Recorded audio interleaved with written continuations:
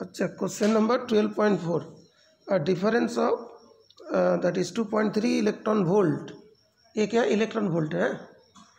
तो separates to energy levels in an atom दो energy level को डिफरेंस करता है, जैसे एक है, दूसरा एनर्जी लेवल है।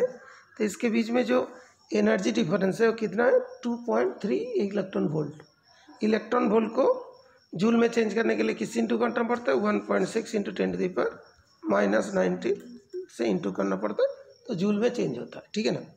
अच्छा तो what is the frequency of radiation emitted when the atom makes a transition from upper level to lower level ये अपर लेवल से लोअर लेवल में आएगा तो उतना एनर्जी रिलीज़ हो जाएगी। तो एनर्जी को अभी किसमें चेंज करना पड़ेगा? फ्रीक्वेंसी में, है ना? तो ई इक्वल टू क्या होता है? एच इंटू एफ़ है ना? फ्रीक्वेंसी फिर एफ़ आ जाएगा, है ना? ऐसे किया था तुम लोग? देखते हैं इसने कैसे किया। Four. Two point three electron volt था। इसको इसने जूल में चेंज कर दिया, ठीक है। इक्वल टू एच न्यू तो नी इक्वल टू ई अपन एच सॉल्व करते गया।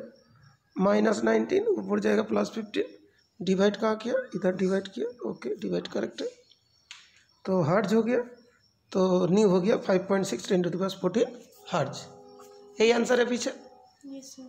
आंसर याद हो गया? याद कर लिया आंसर अच्छा तुम बिना अच्छा ठीक ओके तो इसमें टिक लगा देता हूँ। इसको इसमें मिला दो में से दो। ठीक है सिग्नेचर भी कर दिया ठीक है? ओके चलो तुम लोग